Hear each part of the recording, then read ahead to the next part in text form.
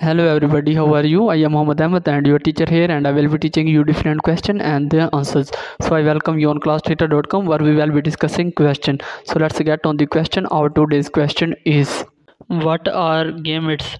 The correct answer of the question a gamete is a mature haploid male or female germ cell that is able to unite with another of the opposite sex in sexual reproduction to form a zygote example egg and sperm.